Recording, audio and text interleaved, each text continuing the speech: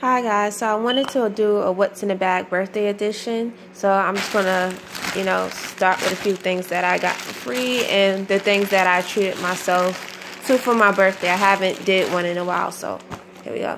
So what's in the bag? I got this setting spray from Urban Decay that I like. I want to get another one for Christmas because it smells like black cherry. It smells really good and it's worth it.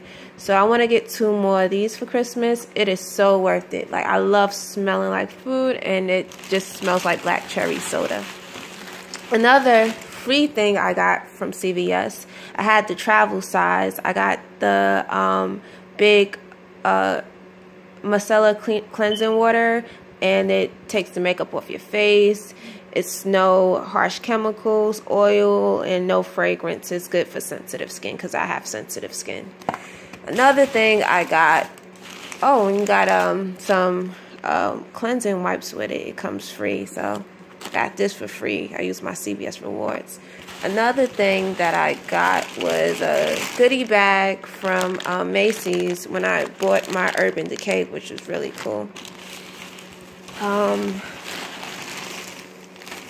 another thing I got was this lace satin sweater, which is really cool. Um, Victoria's Secret. Um, I had another lace sweater that I lost, so I got me another one. So it's really, really nice.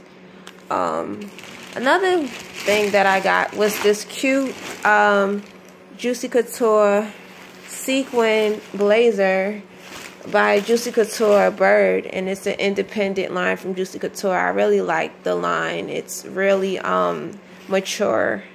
Um, it's a really nice sequin blazers cream. Wear it winter, spring, summer, fall. Wear it with a hoodie.